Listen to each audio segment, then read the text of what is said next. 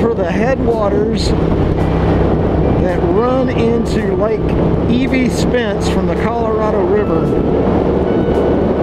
There has been a lot of flooding and a lot of rain. If you've paid attention to the national news or if you're from Texas, you certainly know we've been dealing with torrential rains and flooding statewide. And Texas is a huge state, so that's saying something. And this lake is twice as full as it was before simply because of the rains we've had over the past few weeks. And we're looking for yeah, here's the Colorado River right here. So we're to see if we can get down there and see just how much water is flowing. At this point, normally there's hardly any water in this part of the river. So let's check it out.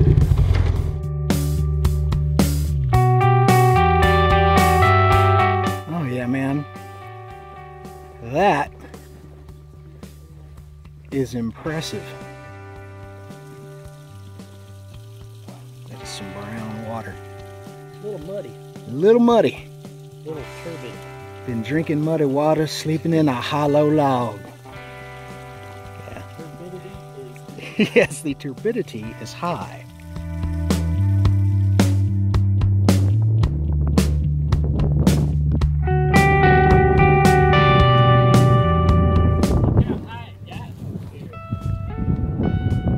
Yeah, you can see right up over here how high it got.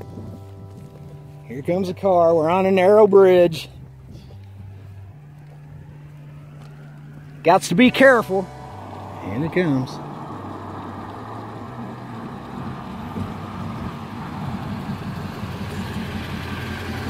motorcycle ride is. Yeah, it is. I remember we had a bank here not too long ago. Well, I had never seen it just running like this before. Yeah. Here a while back. The water was all the way, way up to there. Wow, wow. I live, I live on the quarter mile from the river, and it was within 200 yards of my house. I bet you were nervous. I never had got over that last turn. Well, you can see how high the river got up on that side all the way up to that tree line. That is incredible. it, was, it was not very far below them pipe. Uh-huh. It was big. Where y'all from? We're from Midland. Yeah, y'all Yeah. rode all the way from Midland, huh? Yeah. Day. It's a beautiful day for a ride. We're going to enjoy it. Enjoy it. All right. Have a good day, sir.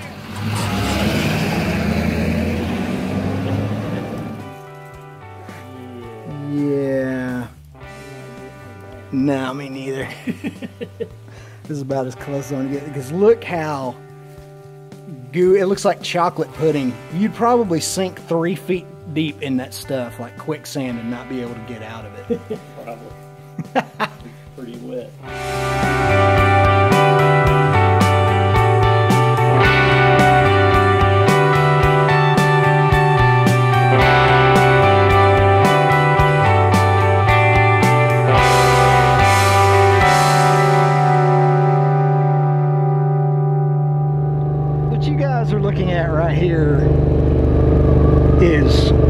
Texas, if that makes any sense. Like when I think of Texas, when I'm homesick for Texas, this is what I think of. These grasslands, these mesquite trees, coming up on a little lake, this hill country with this red dirt. I don't know, man. It- I know I'm home when I'm in an environment like this. You guys ever feel like that? Do you have a place where you go that you know, man, this is where I was born to be. That's what West Texas is for me. Oh, what a beautiful day. What a beautiful place. Let's go check out the water. Oh, yeah, that lake's full. You guys can't see it right now on the GoPro, but yeah, it's really full.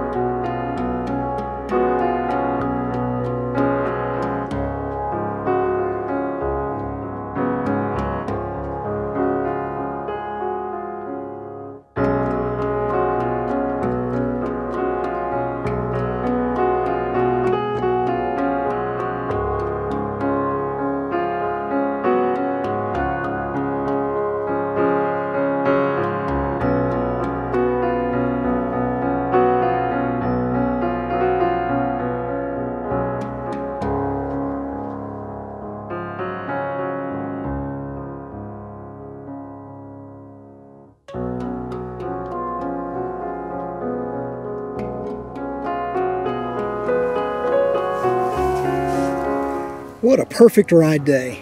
Good times with friends. We'll see you guys on the next episode of Tim Kreitz Adventures. Until then, take care of yourselves. Take care of one another. Bye.